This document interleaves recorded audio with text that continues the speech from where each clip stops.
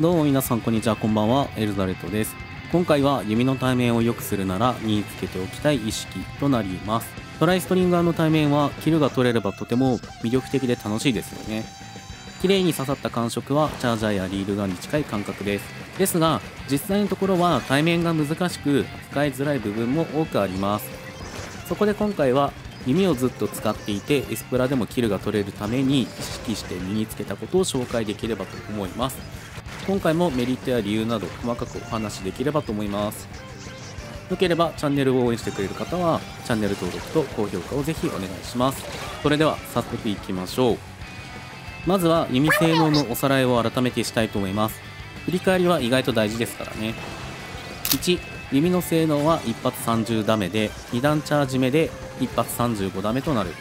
2フルチャージの3発を当てることにより1角105ダメージとなる。3 2段チャージ目の爆発は最大28から84ダメージになる。4射程はスプラチャージャーより短いがジャンプ打ちをすると同等の射程になる。5塗りはそれなりにできるので足場を整えることが可能。改めて確認してみると近接近以外は何かと器用な武器になっています。スプラチャージャー並みの射程を生かしてうまく立ち回ればキルが量産できる武器となってますね。爆発ダメも高いので後ろから味方のカバーをすればアシストを狙いやすい一面もあります。塗りもできるので自陣足場を整えやすい面もあります。まさに性能高めの器用貧乏な武器ですね。それではおさらいもできましたので本編入っていきたいと思います。1つ目は1対1を避けるです。1対1と聞くと接近戦に対してと思われるかもしれないですがどの射程でもこのことは言えます。これは相手がスピナーやブラスター、シューターなどの武器に関係ない状態です。いやいや、そんなの攻撃できないじゃんとなりますが、こちらの図を見てもらうといいかと思います。基本的に1対1をするのであれば、このような図になりますね。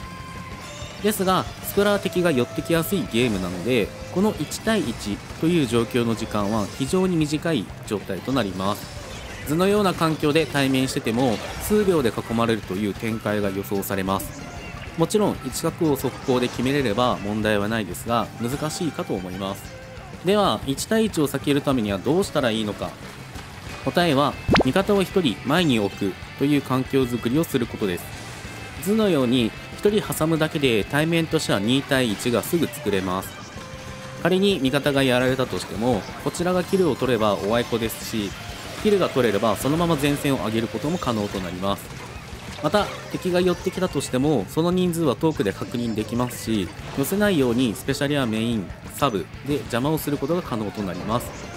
この状態になると敵を見る場所が多くなって圧力がかかるんですよね。こういう状況を作れるようになると比較的対面で勝てるようになってきます。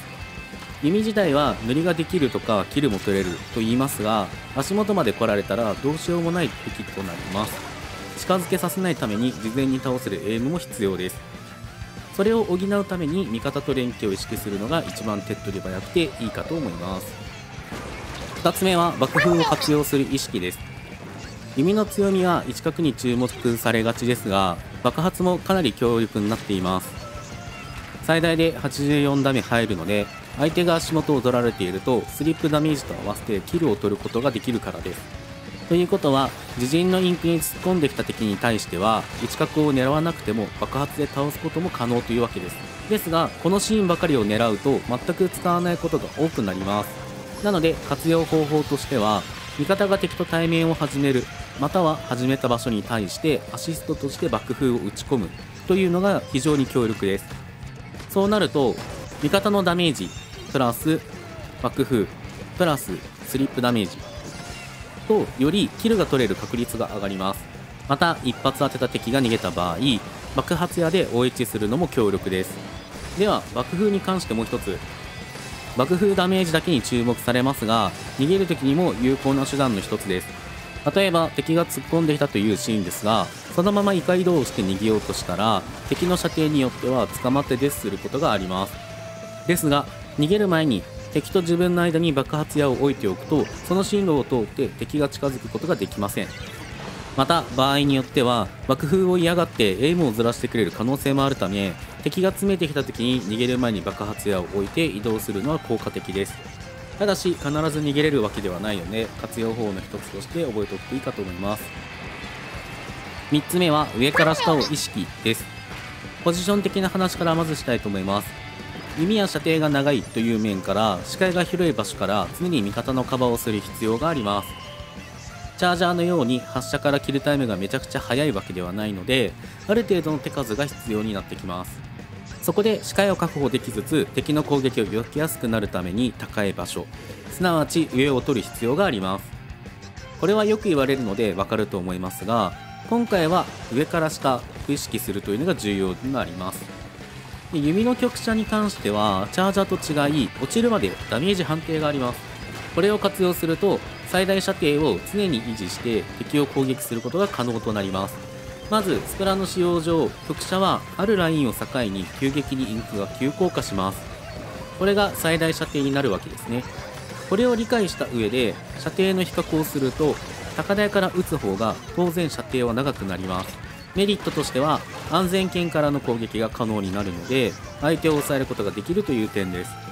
ただし下から上に局者攻撃した場合は上に上がる分の飛距離があるため短くなります。こうなるとせっかくの射程ももったいなくなるんですよね。常に最大射程でしっかりと牽制することを考えるとこの方法は非常に強力だと言えます。もちろん下から上を活用して局射キルが狙えますが修正が難しいので上から下へ局射をお勧めしたいと思います。4つ目はジャンプを長めにする意識です。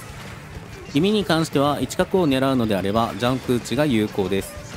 ですがジャンプ打ちに関してはちょっとした欠点があるので位置角がうまくいかないなという時は意識してもらいたい方法。それがジャンプは長めにするになります。